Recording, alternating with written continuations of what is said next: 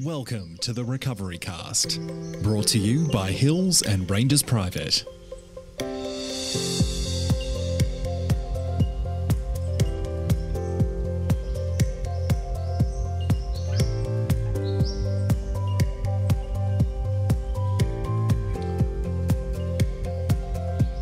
Welcome to the Recovery Cast, brought to you by Hills and Ranges Private. My name is Oliver, and I'm a former alcoholic and addict now in recovery. The Recovery Cast is a podcast created by people in recovery from alcoholism and addiction for people in recovery from alcoholism and addiction. This podcast is meant as a support tool for those in recovery. Everyone who participates in the podcast is in an active recovery program. We are not affiliated with any one recovery methodology and will focus on a variety of different types of recovery, including 12 step recovery programs such as Alcoholics Anonymous and Narcotics Anonymous, and other things like Smart Recovery, Celebrate Recovery, Recovery Dharma, Cognitive Behavioral Therapy, and more.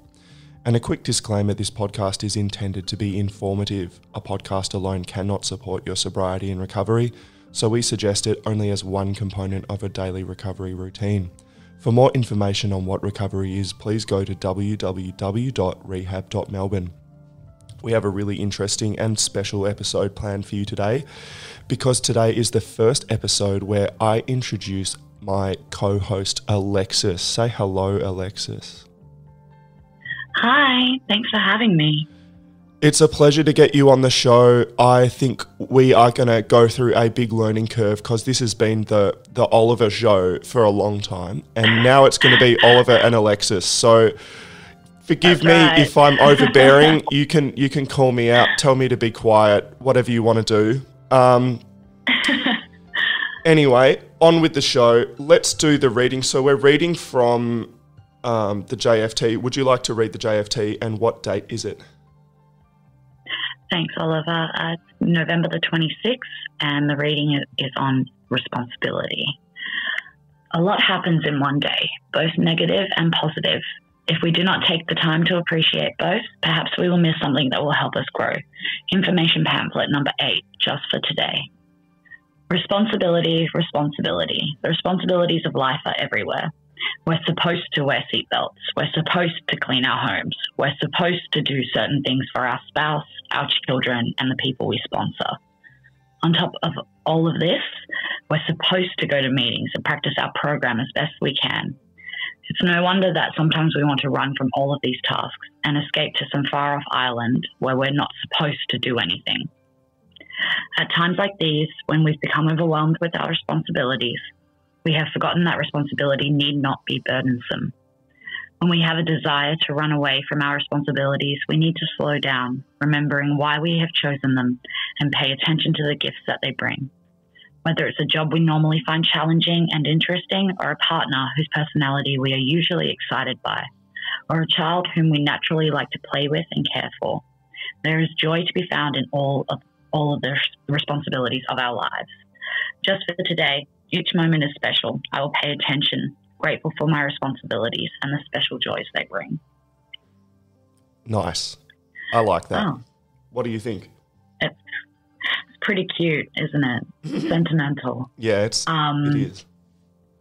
Yeah. And for me, Responsibilities. it um, Mm. yeah.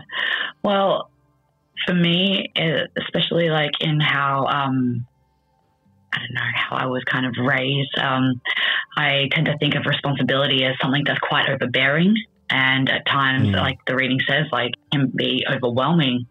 Um, so being able to shift my perspective and you know take part in paying attention to the joys that each responsibility brings Mm. like whether it is the people that I sponsor and the way that they they're recovering, or if it's you know that special time with um, my beloved friends or my partner. Mm. Um, you know, it's it's good to be reminded that there are joys in those moments, regardless of where like Mm. there are responsibilities as well. Mm. And it, it's a big Makes sense. contrast between what I think, at least what my life used to be like, in terms of I lived a life in active addiction of very, very little responsibility. And today it's it's totally different. I have so many responsibilities.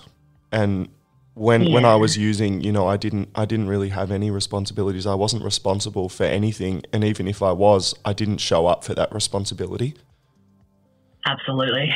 I Yep. just I just shirked them all. I just got rid of you know e- mm. every responsibility, anything, whether it was a partner or a job. So many things didn't last. The only thing that I was really the most responsible for was was actually maintaining my addiction. And today, you know, the the first thing I'm actually responsible for is my recovery, and that is the that for me is the is the primary thing that I need to be aware of all the time is that I need to show up. So yeah, there's a lot of supposed to things. I'm supposed to go to meetings, I'm supposed to do the steps, I'm supposed to do this and that and it's it's really not you know, when I when I decided to get clean, it, it wasn't a supposed to thing. It was a I have to, and mm. that's there's there's not really Yeah. many things that I actually have to do, but that is is one of them. You know, yeah. Yeah, I can relate a lot to that. Um, when I first got clean, it wasn't, I definitely wasn't thinking about what I was supposed to do because there wasn't any other option. You know, there wasn't any alternative Mm. except for showing up every day.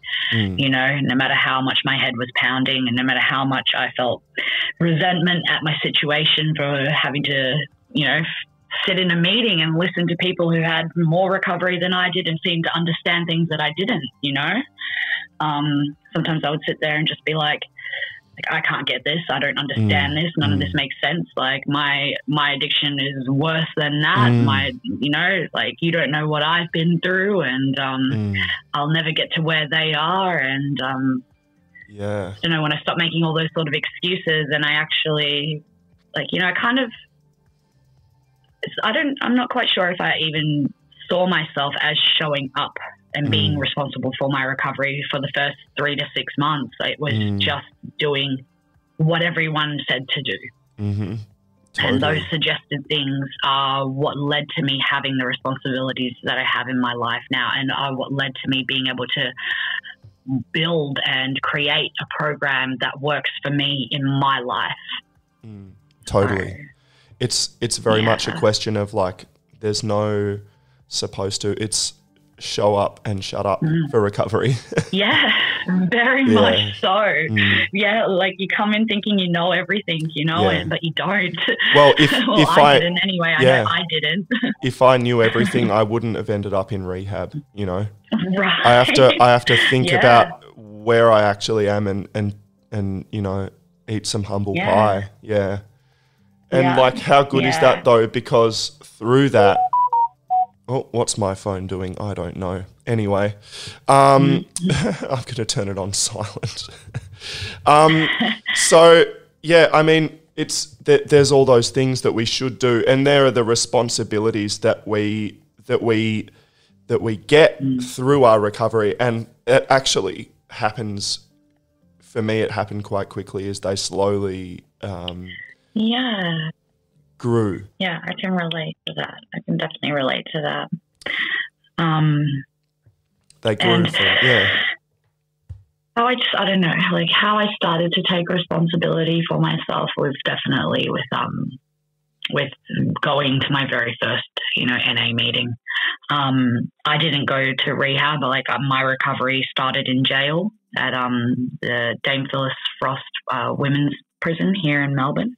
Mm. Um, and I didn't have that option, you know, to go somewhere where I could actually reflect upon my behavior and how it was Mm. impacting my life. Like I had passed that point. Yeah. I had certainly passed that point where there was no option left except for incarceration. Mm. Um, Well, that was my humble pie. You Yeah. know, that was my wake up call to like, you need to start taking some serious res- responsibility for your life Mm. because look at where it is. Like, look at mm, look at what you have reduced yourself to through your Mm. own inability to accept the consequences of your behavior, to make the right choices, and because you want to keep hurting yourself and hurting those around you. You know, and um, Mm, that was a big pill to swallow.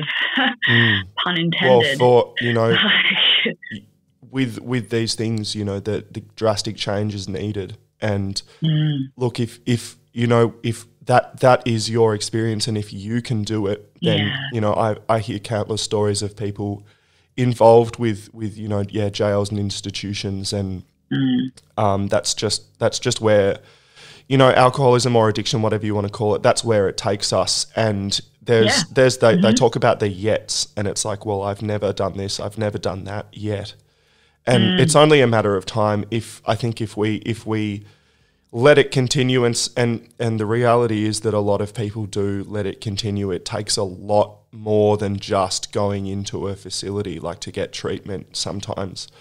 Uh, sometimes Yeah. people are incarcerated. True. sometimes people live for years and years and years in that grip of of their you know substance abuse and nothing changes. And you know you know for me my um experience was actually that when I went into meetings, I thought, well, maybe I'm not as bad as, as everybody else.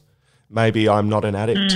And that's an equally cunning situation to be in because Yeah. if I let that get to me, then I would, I would, I would, I would go further down that path and ride that fantastic merry-go-round of, of, you know, struggle and relapse. And I literally just had to take that responsibility and say, well, I'm not going to let that happen. I'm, I was 26. Yeah. You know, that I see a lot of people get into mm-hmm. recovery later on. And look, if, if our listeners mm. are in recovery and, and it doesn't matter where you are in your life, if you are in recovery now or if you're getting to that point now, then grab it and don't let go because if you if you let go then then you'll get taken by the tide of of, of this this you know serious thing. You know, it's really, really hard. Yeah. So Yeah. Oh man, I, I love I love it's it's great having you on the show, Alexis, because I I now you. don't have to talk when I have nothing to say. I can let you talk. So we're gonna yeah I know right. We're we're gonna take a break, and after that we're gonna talk about this thing that I um that came to me about the reading about mindfulness and being super aware of what's going on. Mm. All right, let's have a break. You're listening to the Recovery Cast by Hills and Ranges Private. Now playing daily on iTunes, Spotify, and YouTube. For more shows, visit us at www.rehab.melbourne. All right, you're listening to the Recovery Cast with Alexis and Oliver, and we are going to be talking a little bit about. I think it's it's basically mindfulness um, at the core of it. So in this reading, it talks about um, we have the desire to run away from our responsibilities. We need to slow down, remember why we have chosen them, and pay attention to the gifts that they bring. And I sort of thought about it initially being about the gifts of, of these responsibilities, the gifts of, of recovery, and having the you know the freedom to choose what we do, and having the rewards like the car, the house, the partner, the food in the cupboard, the you know all of those external things.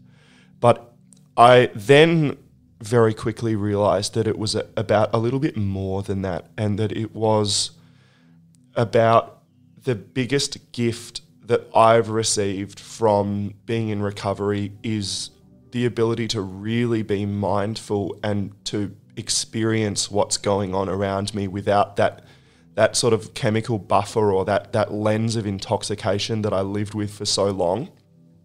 And I mean, the, Alexis, you didn't. Re- I like. I sort of pointed that out, and you were like, "Whoa, what do you think?" Um, so mindfulness. Um, so how, like, it's something that I've only been able to get into recently in um, like the latter part of my recovery journey thus far. Um, and it's it was like you know I come from a trauma background and come you know out of jail, and I needed some time. I think to be able to Mm. separate myself from that um, that stress. Like I was moving very quickly, and um, in my early recovery, I felt that it like I didn't quite trust mindfulness, so to speak. I Mm. didn't trust meditation, and I certainly didn't trust sitting with myself um, in any form, or, you know, whatsoever. Mm. Um, if it wasn't a drug that was distracting me, it was reruns of the Kardashians Mm. or, you Yeah. know, some like some ridiculous thing on YouTube, like some Mm. YouTube deep dive or food or like meetings even. I used to do um when I couldn't sit with myself, I would do meetings in the morning. I would do meetings in the afternoon. I would Mm. do meetings at nighttime. Um, especially when we went, you know, online for COVID, the start of Mm. COVID. Um, 24 hour meetings. when I started yeah. to, yeah, Mm. yeah, I like the most meetings I've done in a day um, is seven, Mm-hmm. like because I just I just didn't know what to do, and I was so unable to be okay with sitting with myself and Mm. being okay with myself and where I was in that moment. Um, and the small amount of mindfulness practice that I have brought into my life has greatly like affected that. It has changed it massively. I'm Mm. I'm just with practicing some meditation, doing guided meditation, and um, I do these weekly sessions with a um, mindfulness um, expert. Actually, his name Wow. is Dr. Chris Walsh, and he does these um, Zoom sessions weekly every Tuesday. And I've started doing those just in the last couple of months. I found it through Mm. Recovery Dharma. I found the link through Yep. Recovery Dharma Cool. and um, those sessions have yeah impacted not only like my headspace but my like i'm sleeping better i'm i feel a lot calmer Mm. i'm not stressing about the next moment and how i'm going to fill that sec- those seconds up you know Mm. so sorry if i'm talking too much No, it's okay. I really, what I loved about what you said was that I hear this a lot. I can't sit with myself. And Hmm. what I discovered through my sort of um, inquiry into mindfulness was what Eckhart Tolle talks about. He talks about in the opening chapter of his book, The Power of Now.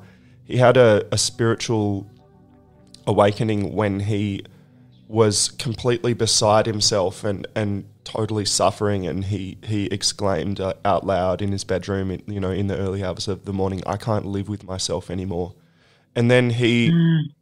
he realized he said hang on a minute. Who who is this I and who is this myself? And what he realized was that there's a separation between the I and the myself, and that one of them is the true self, one of them is the soul or the, the thing that's that's sitting behind your eyes and observing the world, and the myself is this this frontal thing that's in front of that that is the the me that that we sort of uh, I think it's the thinking mind and it's the thing that identifies and the thing that that seeks to grasp these external experiences. And um, there's there's a really big difference and what he realized and what I realized as well around you know when I read his book was that that I needed to start feeding the I that's watching the myself. And and it was the myself that was actually causing all my suffering. Um, absolutely. so for for the mindfulness, I stop I stop identifying with things in terms of the myself. I stop thinking that well, you know, our listeners might be able to hear that I've lost something um, that is that known as my voice. You know, I've lost my voice, and I'm having to make this episode today.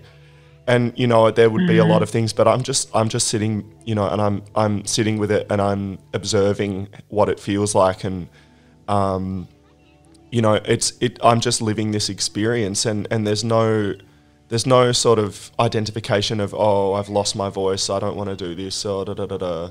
There's no um, you know, and and since I've been able to to sort of nurture this experience that I've been having with the that's what I call mindfulness is just literally sitting and trying to be aware of everything as it arises, not through the thoughts of, of you know, when, when, for example, when I'm trying to meditate, thoughts come up all the time, and that's the myself, that's the front, the front part of the brain. And um, yeah the back part of the brain is just the bit that I try and train myself to sit with and just experience things. And so for mindfulness for me, the, the pay attention to the gifts that they bring paying attention to me means like sitting with that that eye, that that thing that's watching the world from behind my eyes. And Yeah. the gifts that they bring is that is that actual mindfulness, that consciousness.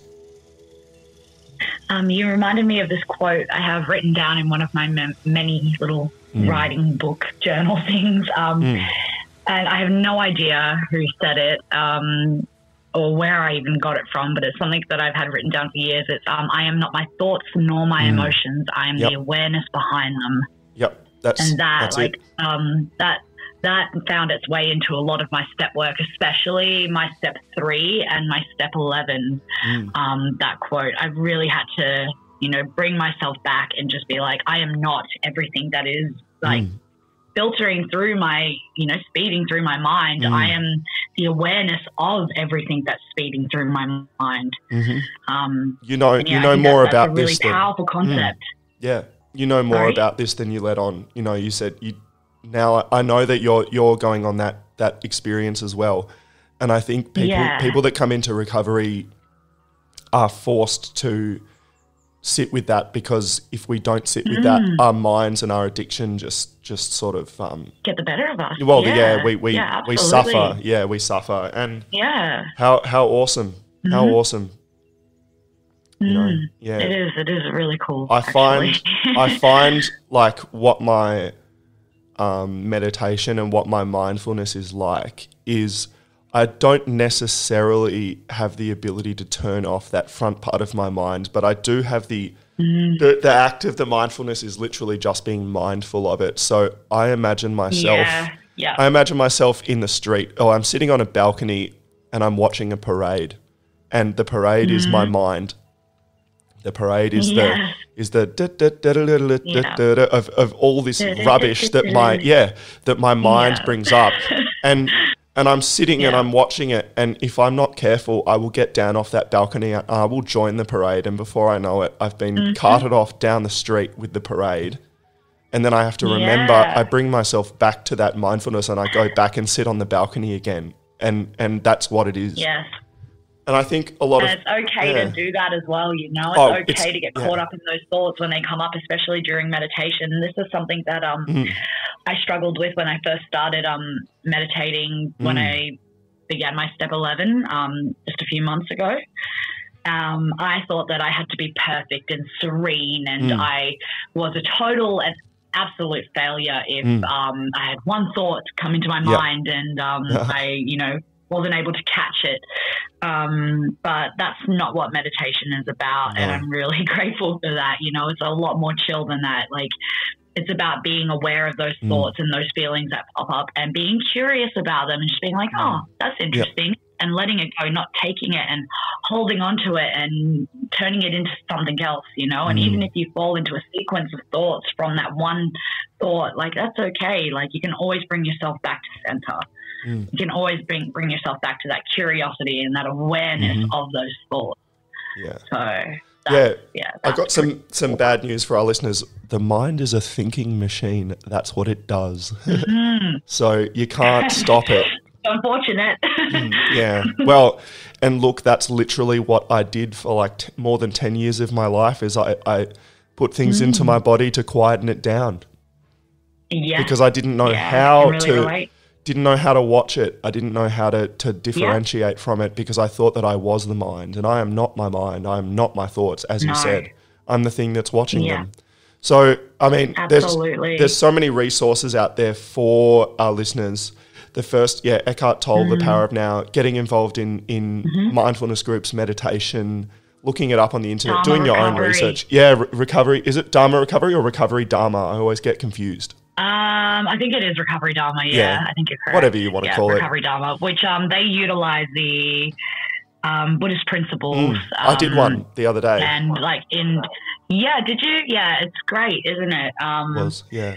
what is it? The Four Noble Truths and the Mhm. Eightfold Path, I Mhm. think, are what they base their um, Mm. their addiction recovery program around. Yep. Um, and meditation as well. Meditation's a huge part of it. Mm.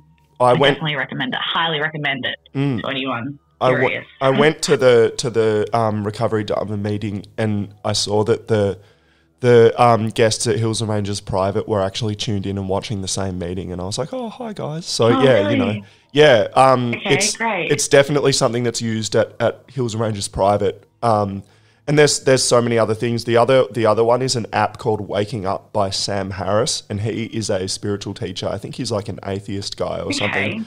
Um, but he's he's really into watching that that space where the thoughts come from and, and trying to find out where it where it all comes from. And as long as you just sit there and watch the thoughts, then that's that's mindfulness. You know, you just sit there watching the thoughts and he tries to get you sort Mm-hmm. of like instead of sitting down and like I'm going to meditate now and then you watch the thoughts for 10 minutes and then you go back to your Instagram feed and then you forget all about it. Yeah. He, he tries to yeah, I know. He tries to get you like uh doing that through your day. So when you're when you're, you know, walking down the street you're like watching the thoughts and you're watching the things Watching around you. thoughts, yeah. And you know, that's that's where That's I'm really at now. Oh, it's it's so hard. But Really you know, cool. Yeah, yeah, it's tricky, isn't it? it's a it's um, a I use the app Insight Timer to Oh, cool. yeah help me. Yeah, it's pretty good. Mm. Pretty good. It's um it's free, but it also has a paid program as well. Yeah, But, uh, like everything these days. for anyone Yeah. wanting a little any keyword that you could possibly think of that would have any sort of any link to recovery or meditation or just anything. Um, you can put into the search engine, and there will be a meditation for it from somewhere. Oh, it's cool. amazing, like absolutely amazing. Wow. So, Well, I guess yeah, we're, we've done a huge episode today, so we're gonna I'm gonna shut this bad boy down. But um, what Okay. yeah, what what I guess what we can take away is that you know there's there's so much to explore in recovery, and that Mm. all you have to do is inquire, and and more will be revealed. You know, all these things we we learn this experience, and you more know, will be revealed. Mm, that's, That's what they talk about. All right. Well, thank you for listening Mm-hmm. to another episode of the Recovery Cast brought to you by Hills and Ranges Private. Um, www.rehab.melbourne is the website if you want to find out more. Jump on there. And yeah, thanks for thanks for joining me on this journey, Alexis. I'll see you on the next episode. Thank you. No worries. Um, how cool. Great. It's not just me now. We've got a co host. So, um, yeah, looking forward to doing more episodes in the future. Have a lovely day. Cheers. Thank you for listening to the Recovery Cast. For more, visit us at www.rehab.melbourne.